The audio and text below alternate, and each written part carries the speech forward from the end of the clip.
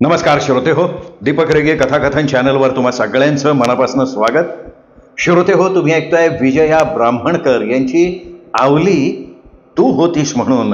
ही कादंबरी आणि आज भाग सहावा पण तत्पूर्वी तुम्ही जर अजूनपर्यंत चॅनल सबस्क्राईब केलेलं नसेल तुमच्याकडनं चुकून चॅनल सबस्क्राईब करायचं राहून गेलं असेल तर प्लीज प्लीज चॅनल सबस्क्राईब करा. ऐकूयात? आवली तू होतीस म्हणून भाग सहावा. सकाळी कनकाई उठली तिच्याच मागे जिजाई उठली. सासूबाई मी टाकू साडा? कनकाई साड्यासाठी पाण्यात शेण कालवत होती ते बघून जिजाई म्हणाली अगं राहू दे पोरी अंगण मोठं आहे मीच टाकते हो. पुढे तुलाच करायचं आहे मग मी अंगण झाडीन. बरं. जिजाईनं मग साड्याचं अंगण झाडून काढलं. अंगणाच्या मधोमध ती रांगोळी रेखायला बसली. छान रांगोळी काढली तिनं. घरातले सारेजण तिच्याकडे कौतुकानं बघत होते. ती उठून उभी राहिली. हाती रांगोळीचा डबा होता. स्वतःच्याच रांगोळीला निरखत जिजाई भोळेपणानं म्हणाली सासूबाई रांगोळी कशी झाली? साजरी काढलीस ग रांगोळी. तसंही तू रांगोळ्या साजऱ्या काढतेस हे आम्हास आधीच कळलं होतं. कसं सासूबाई? डोक्यावरचा पदर नीट करत तिने मागे बघितलं. तिथे कनकाईच्या जवळ बोल्होबा आणि बाकीचे त्यांच्या मागे उभे होते. कसं म्हणजे काय अगं? विठ्ठल मंदिराचा उत्सव झाला होता ना तुमच्या गावी? तेव्हा तुझे मामाजी आले होते तिथे? हो. अगं मग त्यांनी सांगितलं. असं? कसं असतं ना जिजाई? गुणाचा सुगंध सगळीकडे पोहोचतोच पोहोचतो तसा तो आमच्यापर्यंत सुद्धा आला. कनकाईच्या बोलण्यावर जिजाई छान हसली तेव्हा तिच्या गालावरची खळी खूप सुंदर दिसत होती. सासूबाई चुलीला पोतेर मी लावणार. अगं असू दे. नाही नाही सासूबाई मीच लावणार. आईनं सांगितलंय की तिथे गेल्यावर कामं करशील इथल्यासारखं करू नको. म्हणजे मला पहान फुलं वहा. जिजाईच्या निरागस बोलण्यावर कनकाईनं तोंडाला पदर लावला. जिजाईनं चुलीला पोतेरं लावलं. चार चुली होत्या. चुलींसाठी बैठा ओटा होता. त्यावर बसूनच स्वयंपाक होई. जिजाईनं चुलींबरोबर ओटाही सारवला. तिला जमेल तसं तिने केलं. काही ठिकाणी पोतेऱ्या लागलं काही ठिकाणी नाही लागलं. कनकाईने ते बघितलं पण बोलली काही नाही. पोरीबाळीची जात. जमेल हळूहळू सारं. तिला काही करायची आवड आहे हेच खूप आहे. मनाशीच कणकाई म्हणाली आणि विठ्ठलाला वाटलं चांगल्या चुंगल्या कपड्याचं आणि चांगल्या आयुष्याचं केव्हा कसं पोतेरं होईल सांगता येत नाही. रखमाताई आजीताई झोपल्या की काय म्हणा? काय ग जिजाई? ताई संताजी उठला नाही का? नाही ग. मग उठवा ना त्याला. मज खेळायचं आहे त्याच्याशी. आणि बरं का रखमाताई आज त्याची आंघोळी मीच घालणार. बरं बाई बरं. संताजी उठ रे बाबा. बघ तुझी छोटी आई आली उठवायला. संताजीने डोळे केलकेले करून बघितले आणि त्याच्याकडे बघणारी जिजाई म्हणाली रखमाताई अगं बघ की बाजेला डोळे फुटले. हो ग खरंच की. संताजीला कडेवर घेऊन जिजाई ओसरीत आले. मग त्याला घेऊन अंगणात गेली. झाडावरचे चिऊ काऊ दाखवले. गोठ्यातली हांबा दाखवली. त्याचं दूध पाणी केलं. न्हाणी घरात नेऊन त्याला आंघोळ घातली. माऊ शेल्यानं अंग पुसलं. कपडे घातले. काजळतीट केली. आणि मग त्याला घेऊन कनकाईजवळ गेली. सासूबाई अहो बघा तरी माझा गोपाळकृष्ण. खरंच की ग? मोठा साजरा दिसतो तुझा गोपाळकृष्ण. मंदिरातला विठोबात जणू. विठोबा नाही हा सासूबाई. गोपाळकृष्णच आहे हा. बरं तू म्हणशील तसं. बरं जिजाई हा निवद नेऊन दाखवतेस का विठ्ठलाला? कुठी सा? अगं मंदिरात. तुकोबाई असेल तिथे. आणि लवकर आटोप म्हणाव वसुलीला निघायचं आहे त्याला. जी सासूबाई. आठ दिवस राहून जिजाई पुन्हा माहेरी आली. सध्या ती दोन्ही घरची पाहुणी होती. विठ्ठल तिचं कौतुक कमरेवर हात ठेवून बघत होता. आवली आवली अगं हे आवले. गुणाबाईनं आवाज दिला. काय ग गुणामावशी गोठ्यात गाईंना आणि विठीला चारा टाकणाऱ्या आवलीनं विचारलं आणि पुन्हा तीच म्हणाली मावशी तुला किती वेळा सांगितलं मला आवली म्हणू नकोस? अगं सासरच्यांनी म्हणजे माझ्या बुवांनी माझं नाव बदललंय ना. अगं बाई बाई पण तोंडात येत नाही ना. आमची तर बाई तू आवलीच बरं ठीक आहे सांग. कशाला आवाज दिलास मज? आई बसली चुलीपाशी. तुला भाकरे थापून बघ म्हणती. आलेच की. जिजाई आईजवळ पोचली रांधणीत आई चुलीजवळ बसून परातीत पीठ घेऊन भिजवत होती. आई मज सांग ना. अगं ये त्याच्यासाठीच बोलवलं आहे जिजाई मग आईजवळ बसून भाकरीचा उंडा चोरायला लागली. छान मनगटाने चोरायचा. हां हां असा जोर देऊन चूर. पायाच्या अंगठ्यानं परातीचा काठ दाबून जिजाई उंडा चोरू लागले. हां थाप आता भाकरी. आवलीची भाकरी जमेच ना सारखी मोडून जायची. आईने मग तिला हळुवारपणे भाकरी थापायला शिकवलं आणि बघता बघता आवलीच्या छोट्या छोट्या भाकरींनी दवडी भरून गेली. छान झाल्या ना आई भाकरी होय ग? आता आप्पाजींना मी जेवायला घालीन. भाकरीची दवडी हळद जिजाई म्हणाली. विठोबा मोठ्या कौतुकानं जिजाईनं केलेल्या चाणक्या बघत होता. ह्या चाणकीचा निवद जिजाईने आपल्याला दाखवायला हवा असं सारखं विठोबाला वाटत होतं. आवले जिजाई म्हण की गाई अगं बाई पण तू आमची आवलीच ना. आता जिजाई. माहेरचं सारं विसरायला झालं का काय तुला? अगं आई तूच म्हणालीस ना. बरं पुरे आता. माहेर मनातनं थोडं बाजूला सारावं म्हणजे मग मनात सासरला जागा होते. असं तूच म्हणतेस नाही पण आई माझं गाव माझं हे घर तू आप्पाजी जात नाहीत ग मनातनं. असं म्हणून जिजाई आईला बिलगले. पण प्रयत्न करायचा आहे ग. खूप करते. पण खूप कठीण आहे ग सगळं आई. आपल्या लेकीच्या बोलण्यानं आईचे डोळे पाणावले. दाराशी उभ्या असलेल्या गुणाबाईनं पदराच्या शेवानं डोळे पुसले आणि ती माघारी फिरली. बरं आवले आज तू पहिल्यांदाच आणखी केलीस. ह्या आधी पण केली होती हं? अगं पण ते वरवरचं होतं. आज मनापासनं आहेस बरं मग? मंदिरात जा आणि विठोबाला निवत दाखवून ये. त्याला कशाला? अगं आपली चालरीत आहे ती. अगं त्याला काय कमी आहे? एवढे गावातले निवत जातात त्याच्यासाठी.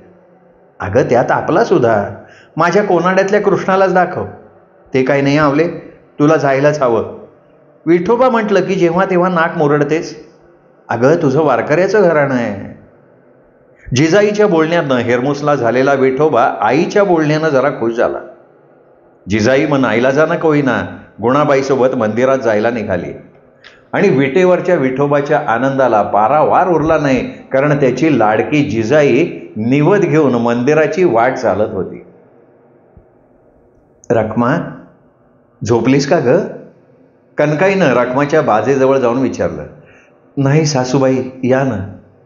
अगं काढा आणलाय करून. कंटाळा आला हो सासूबाई काढा घेऊन घेऊन. मात्रा लागू पडत नाही ती नाहीच. अगं पडेल आराम. कोणतंही दुखणं हत्तीच्या पावलाने येतं आणि मुंगीच्या पावलाने जातं. तुम्ही काही म्हणा सासूबाई पण मज माझं काही खरं वाटत नाही. सकाळी सकाळी असं बोलू नये ग. खरंच सांगते तुम्हाला पण माझं काही बरं वाईट झालं ना तरी मला आता काही चिंता नाही. जिजाई सारं नीट सांभाळेल. घराला सांभाळेल बुवाला सांभाळेल आणि माझ्या संतोबाला सुद्धा ती सांभाळेल. हे बघ व्हायचं ते चुकत नाही पण धीर सोडूनही चालत नाही ना रखमा. आपल्या धीरानं काय होतंय सासूबाई? पण माझं मज उमजलंय. आणि बोलता बोलता दम लागला रखमाला. रखमाच्या हातचं फुलपात्र कनकाईनं घेतलं तिच्या पाठीवरनं कनकाईनं हात फिरवला. तुकोबा कनकाईनं आवाज दिला. काय झालं आई? तुकोबा जवळ येऊन म्हणाला. अरे दम्याची मात्रा उघड बरं लवकर. बघ किती धाप लागली रखमाला. तुकोबानं पटकन मात्रा उघडली रखमाला चाटवली. हळूहळू तिचा श्वास स्थिर झाला. भोवती सारे जमले होते. आई रखमानं काढा घेतला नाही? अरे दिला पण ती बोलत राहिली. आणि मग बोलता बोलता धाप लागली तिला. तुकोबाच्या चेहऱ्यावर काळजी पसरली होती. रखमावर त्याचा जीव होता. तिची ही अवस्था त्याला पाहवत नव्हती. तो मनातल्या मनात विठ्ठलाचा धावा करायला लागला. विठ्ठलावर त्याची भक्ती होती श्रद्धा होती. सुखात दुःखात विठ्ठल आपल्या पाठीशी असतो हे त्याला ठाऊक होतं. आणि मग तुकोबाच्या मनात कितीतरी वेळ विठ्ठल नामाचा ओंकार उमटत राहिला. तुकोबा आपल्या आढळ श्रद्धेनं विठ्ठलाला बांधू पाहत होता. भक्तीनं श्रद्धेनं जे होणार ते चुकत नाही पण परमेश्वर त्या दुःखाची तीव्रता कमी करण्यासाठी भक्ताला बांधील होतो. परमेश्वर काहीतरी पर्याय शोधतो. आत्ताही विठ्ठलानं तेच केलं. रखमा जाण्यापूर्वी त्यांनी जिजाईची योजना तुकोबासाठी केली. जिजाईमुळे तुकोबाचं जगणं सुसह्य होणार होतं. मोडलेल्या घरादाराला आणि मोडलेल्या तुकोबाला सुद्धा निर्णय आपल्या दोन्ही हाताने सावरून धरणारा होता. तुकोबा बरेच दिवस झाले रे जिजाई नाही आली. मग अरे मग काय? घेऊन ये आठ पंधरा दिवसासाठी. बघू. आणि तुकोबाला जिजाईची आठवण झाली. तिच्या घरात असणं तिचं फिरणं तिचं बोलणं कसं चैतन्यदायी होतं. तिच्या असण्यानं घरात आनंद पेरल्यासारखा वाटतो. आणि सतत रकमाचा तिच्या आजारपणाचा विचार मनात असणाऱ्या तुकोबाच्या मनात आत्ता ह्या क्षणी जिजाई होती. तुकोबा मनाशी हसला. जिजाई आपल्या मनाला आपल्याला आपल्या या घराला घरातल्या माणसांना किती व्यापून उरली आहे हे त्याला कळलं. पण तुकोबाला हे कुठे ठाऊक होतं? की आपली जिजाई आपल्याच मनात नाही तर साक्षात विठ्ठलाच्या मनातही ठाण मांडून बसली आहे. तुकोबा जिजाईची वाट बघत होता आणि रावळातला पंढरीनाथ सुद्धा. स्वयंपाक झाला असेल तो वाढ मला लवकर निघायचंय. आहे बा कनकाईला म्हणाले आता कुठंसा निघालात? थोडी गहाणवटीची कामं आहेत. आणि मग जरा थांबून म्हणाले बाहेर गावी चाललोय मी. जिजाईच्या भेटीला झालंच? हो कामं आटोपली की जाईन. बुवा मग घेऊनच या ना जिजाईला. बघतो काय ते. अहो त्यात बघायचं आहे काय? अरे आप्पाजींनी त्यांची मुलगी पाठवायला हवी ना. काहीतरीच तुमचं. ते कशाला नाही म्हणतील? अरे बाबा तुझा इवाई मोठा माणूस आहे. गमतीनं बोलोबा म्हणाले तर तुम्ही काय लहान आहात? बरं मी वाढते पण जिजाईला आणायचं तेवढं लक्षात असू द्या म्हणजे झालं. बोलोबा जेवण करून तयार झाले. डोईवर पांढरा शुभ्र फेटा त्याला पिवळी जरीची किनार कपाळी बुक्का अंगात बाराबंदी आणि धोतर. फेटा जरा साजरा पक्का बांधा बुवा. को? आता इहेणीच्या गावाला चाललाय ना? मी जिजाईला भेटायला म्हणजे घ्यायला चाललोय. आता कोण जाणे कुणाला भेटायला चाललाय? तसे बोल्लोभा हसले आणि कनकाईनं तोंडाला हसत हसत पदर लावला. पहा इनीच्या नावानं कसं हसू फुटलंय. आणि तसंही न बुवा तुमची इहीन लक्ष्मीवाणी दिसते. जिजाई सुद्धा तशीच दिसते. खाण तशी माती नाही? अगदी बरोबर बोललात तुम्ही. विठ्ठल ओठातल्या ओठात पुटपुटला. तुम्ही मज काही म्हणाले का? कनकाईनं बोलोबांना विचारलं. मय बुवा. मग आवाज कोणाचा आला म्हणायचा? कोण जाणे? बरं मी चालतो छकडा घेऊनच जातो. जा पर छकड्यावर सुनेलाच बसवा नाही तर घेऊन याल इहिनीला. थू पण ना कनकाई पती पत्नीतलं हे गमतीशीर बोलणं विहीण व्याह्याच्या नात्यातली एक अनोखी अलवार गंमत मोठी सुनबाई ऐकत होती. रखमा बाजेवरनं ऐकत होती. घराच्या चित्रांकित भिंती ऐकत होत्या आणि पंढरपूरचा पांडुरंग सुद्धा ऐकत होता. आई ए आई. अगं बोल ना ऐकतीये. आई अगं माझा ना आज उजवा डोळा फडफडतोय. बरं मग? माझ्या सासरहून कुणीतरी येईल असं वाटतंय. कावळा सुद्धा कधीचा कोकलतोय. अगं हो ऐकलं मी पण. आणि बरं का आई माझ्या घराच्या भिंतीतले कोनाडे आहेत ना खूप मोठे आहेत. त्या भोवती पांढरी वेलबुट्टी आहे आणि भिंतीवर कितीतरी चित्र. आपल्या घरच्या चित्रांकित भिंती आठवून जिजाई हरवलेल्या नजरेनं म्हणाली. आणि पुन्हा तीच म्हणाली आई माझे मामाजी किती देखणे रुबाबदार दिसतात नाही? ते पेढीवर बसतात ना तर राजा महाराजांसारखे वाटतात. हो? आणि आमचे जावई त्यांचं म्हणजे बुवांचं ते नाही बाई फारसं लक्षात. मी काही त्यांच्याकडे बघत नाही. ते बाहेरच असतात जास्त. मी आपली घरात. अगं पण आपल्या माणसाकडे लक्ष द्यावं ना? कशाला? ते काय लहान आहे? घरी असले की ते असतात रकमाताईच्या खोलीत. मी आपली संतोबाला खेळवत असते नाही तर मग सासूबाईंना कामात मदत करते. आवले अगं दाराशी गाडी थांबल्याचा आवाज आला बघ ग. जिजाई मग रांधणीतनं माजघर ओसरी पडवी अशी पार करत धावायला लागली. धावत आली ती थेट अंगणात. मग दिंडी दरवाजापाशी येऊन उभी ठाकली. बोल्लोबा छकड्यावरनं उतरत होते. मामाजी तुम्ही? मला वाटलंच होतं तुम्ही याल म्हणून. कसं काय बुवा? दिंडी दरवाज्यातनं आत शिरत बोल्लोबांनी विचारलं. कावळा कोकलतोय ना कधीचा अंगणातल्या झाडावर? असं. कावळ्यानं सांगितलं मी येणार. कावळ्याचं कोकळणं शगुनाचं असतं ना? बरोच ठाऊक आहे की तुला. बोल्लोबांच्या बोलण्यावर हसली जिजाई. गालावरच्या खळ्या अधिक उठावदार झाल्या. या हं पाय धुवा. पण थांबा मी पाणी ठेवते. कोणाशी बोलतीयस ग? आईने बाहेरून विचारलं आणि बोल्लोबांना बघून आईनं डोक्यावरचा पदर समोर ओढला. मागे फिरली तेवढ्यात बोल्लोबांची नजर आईकडे गेली. खरंच की. लक्ष्मीवाणी दिसतात अगदी आवलीची आई. मनाशीच बोल्लोबा म्हणाले आत वळता वळता आईनं जिजाईला आवाज दिला आवले आली. काय गाई? अगं पाहुण्यांना गुळ पाणी दे मी स्वयंपाकाचं बघते. बोल्लोबांच्या कानावर ते गेलं आणि ते म्हणाले मी जेवण करून आलोय. असं कधी होईल का? जेवण करा चार घास. मागे वळून न बघता आतल्या दाराशी गेलेली आई म्हणाली विहिणीचा आग्रह बोलोबांना मोडवे ना ते गप्प राहिले. जिजाई! बोलोबाने आवाज दिला. जी अगं आवले गोड पाणीने. आता मी काय करू सांगा? घोड्या मागून शिंगरू हेलपाट्यानं मरावं तशी गत माझी. दोघंही बोलवत आहेत आता इहीन इव्हायाच्या मध्ये माझा चेंदा. जिजाईच्या बोलण्यावर बोलोबा हसले. मनाशी म्हणाले चुणचुणीत आहे पोरगी. जिजाईनं समोर धरलेला गोळाचा खडा तोंडात टाकला आणि त्यांनी विचारलं जिजाई आप्पाजी नाही दिसत. ते व्यापार उदिमासाठी गेलेत. असं? बरं मग चलतीयस ना? आप्पाजींना विचारलं नाही. अरे हो तेही खरंच आहे म्हणा. भुवई उंचावून जिजाईकडे बघत बोल्लोबा म्हणाले आवले आवले तू जा हं? आतून आईचा आवाज आला.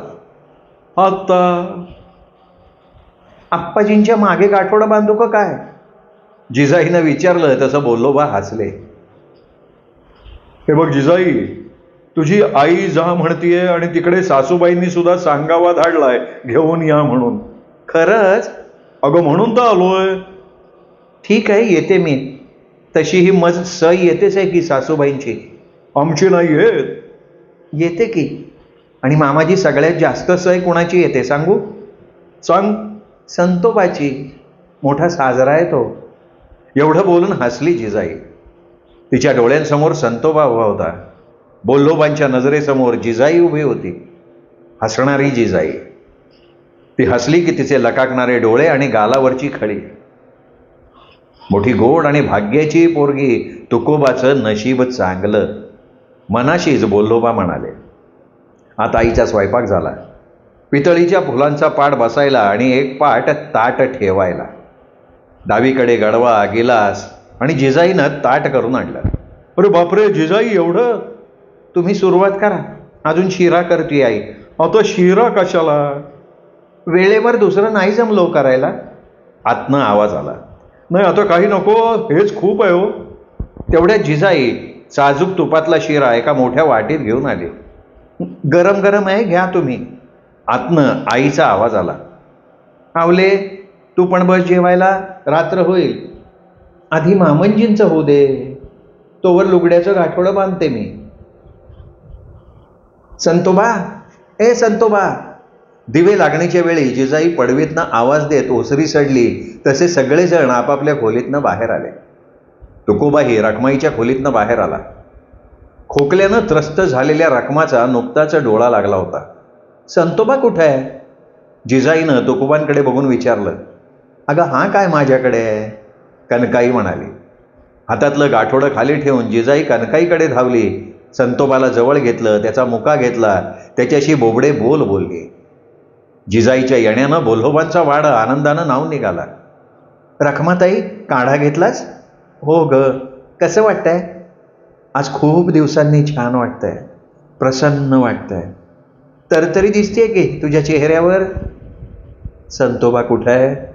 त्याला न्हाऊ माकू घातलं काजळ तीट लावली मामंजी जवळ आहे तो. बरं जिजाई आज मी स्वयंपाकात सासूबाईंना मदत करणार आहे हो. नको रखमाताई. अगं तू आराम कर. मी करते ना सासूबाईंना मदत. शिवाय थोरल्या जाऊबाई आहेतच. आज बुवाच्या आवडीनिवडीचं करीन म्हणते. मला सांगा मी करीन. अगं तू लहान आहेस. काय रखमाताई मी लहान कसली? चार महिने झाले लग्न होऊन. हो ग बाई पण मी आज रांधणीत पाय ठेवणार. आज मी बुवांच्या आवडीचं लुगडं नेसली आहे.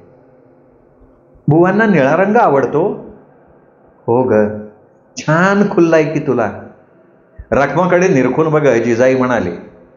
खरंच आज रकमा छान दिसत होती. निळं लुगडं चापून झोपून केसांचा घातलेला खोपा कपाळावर कुंकवाची आडवी चिरी नाकात नथ कानात कर्णफुलं. ताई आज नथ घातलीस का? बुवांना आवडते. म्हणतात तू नथ घातलीस ना की लक्ष्मीवाणी दिसतेस. मला तर ठावच नव्हतं हे. बरं गप्पा काय करतोय? चल मला आधार दे थोडासा. रखमाला घेऊन जिजाई रांधणीत आली. कनकाई चुलीशी बसली होती. थोरली भाज्या चिरत होती. कनकाईचं लक्ष रखमाकडे गेलं. अगं रखमा तू आता काय म्हणावं गं तुला? तू कशाला आलीस? मी पण तेच म्हटलं तिला सासूबाई. अहो आज बरं वाटतंय मला. आज बरं वाटतंय म्हणाल आणि मग घेऊन बसाल. जिजाई रखमा मोठी आहे हां? असं म्हणू नाही तिला. मग काय खोटं बोलते का मी? जिजाईच्या बोलण्यावर कणकाई हसली थोरलीनं आणि रखमानं तोंडाला पदर लावला. बारा वाजले. घरच्या देवाला आणि मंदिरातल्या पांडुरंगाला निवद दाखवून झाला. जिजाई ताटं घे सगळ्यांची जिजाईनं सर्व पुरुष मंडळींची ताटं घेतली. ताटं छान पितळी होती. बसायला पाठ होते. गडवे गिलास सगळं पितळी. जेवणं झाली. हात धुताना तुकोबा हळूच म्हणाला जिजाई तुला भूक लागली असेल. हो लागली ना पण तुमचं झाल्याबिगर जेवायचं कसं? आता ताटं घे तुम्हा सगळ्यांची आणि बसून घ्या जेवायला. अतिशय प्रेमानं आपुलकीनं तुकोबा म्हणाला जिजाई लहान आहे. दुपार झाली तिला नक्की भूक लागली असेल असं त्याला वाटत होतं. मग सगळ्यांची जेवणं झाली. जेवताना एकमेकींना आग्रह झाला. सगळ्यांचं लक्ष जिजाईकडे होतं. जेवणानंतर आवरासावर झाली भांडी कुंडी बाहेर नेऊन ठेवली चुलीला पोतेरं लागलं. कसं चकचकीत झालं ना सगळं? चुलीकडे आणि चौकीकडे बघ जिजाई म्हणाली मजनं हे असंच आवडतं. पुन्हा तीच म्हणाली रखमा अगं दमली अशील पड जरा. जिजाई तू सुद्धा आराम कर. आणि मग थोरलीकडे बघून म्हणाल्या जा सांताजी कुठे गेलाय बघ. काय सासूबाई सगळ्यांना आराम करायला सांगताय आणि तुम्ही? तरण्या झाल्या बरण्या असंच झालं की आता. अगं साऱ्या जणी सकाळपासून काम करताय ना तुम्ही? तुम्ही नाही करत का सासूबाई? तुम्हाला साऱ्याची कणव तुमची कणव कोणी करायची? कणकाई समोर झाली जिजाईला पोटाशी धरलं आणि म्हणाली माझी गुणाची ग बाई दी तुकोबा पडवीतनं ओसरीतलं हे दृश्य बघत होता. त्याच्या एक लक्षात आलं जिजाई वयानं लहान आहे पण मनाचा मोठेपणा तिच्या ठाई आहे.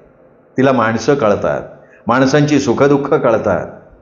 ती माझ्या आईला वडिलांना रखमाला संतोबाला घरातल्या सगळ्यांना जीव लावते.